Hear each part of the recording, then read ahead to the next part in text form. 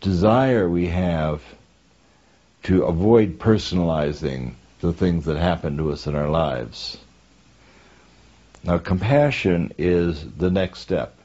In a compassionate life, you recognize that there's no separation between us, that it's the uh, Buddhist idea of one consciousness and many bodies. And there is indeed suffering on the earth.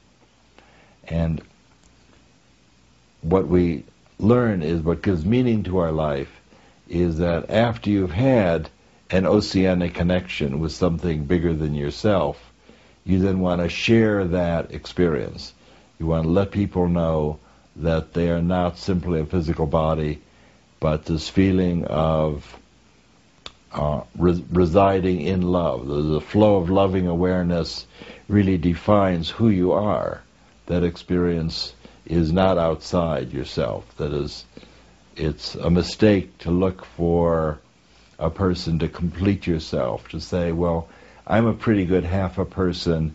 If I could only find another half a person to complete me, then everything would be perfect. And of course, that never works. Mm-hmm.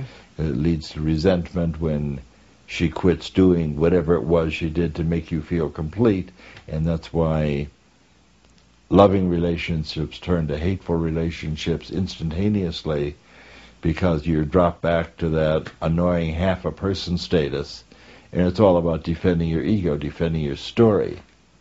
True. And it's a idea in Judeo-Christian teaching as well as in the Buddhist teaching that the kingdom of God is within you and not outside. Right. And one of the thrusts in our book, In the End of Suffering, is to argue in favor of the, the non-dual approach, the idea that uh, you and the divine are one.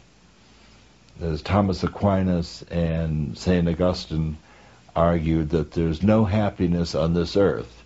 You'll only be happy in the next life when you become one with God, since you're all a bunch of sinners in this life, in the Catholic the corporal doctrine. Life, right. In the corporal life, because of Adam's sin, mm-hmm. you're never going to know God. You're never going to find happiness and it will only come after you die. And Augustine and Aquinas wrote extensively arguing about the hopelessness of finding happiness in this life. Mm-hmm. And um, the the non-dual teaching is that you and the divine are one. Uh, we're trying to do in this book is to mm-hmm. get people to ask the question who they are, and we try and give some steps that allow people to do that. And so when you continue on um, in these five of the eight on the path is community and gratitude as well. And gratitude seems to be something well, community is lot. critical. Yes. In order to find a spiritual community or a sangha in which you can safely express and explore your spiritual desires and needs. It's very important to find a, a, a investment club won't meet these needs. By the way, mm-hmm. this has to be a safe place to explore your experiences, your physic, your spiritual experiences. And you see, nothing I've talked about involves belief in anything at all. I'm a fairly unreconstructed physicist. Uh, I've had some experiences in connection with my work at uh, Stanford's Research Institute doing psychic things.